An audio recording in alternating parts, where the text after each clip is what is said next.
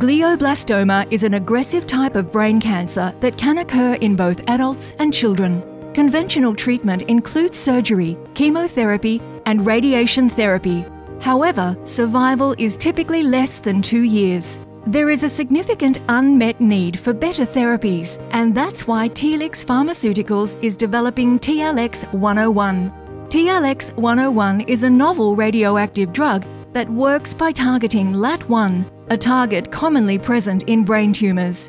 TLX 101 rapidly crosses the blood brain barrier and is therefore able to treat both bulky tumours and small metastases that can cause recurrence.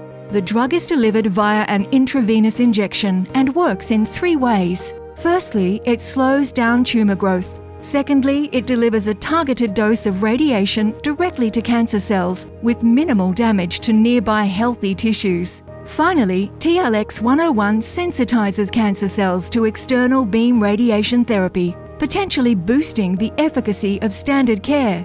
TLX 101 has been studied under compassionate use in Germany in patients with recurrent glioblastoma receiving standard care. Some patients have demonstrated a significant reduction in tumour size and prolonged stabilisation of disease from a single course of therapy. TLX 101 is now being evaluated in formal clinical trials in several countries.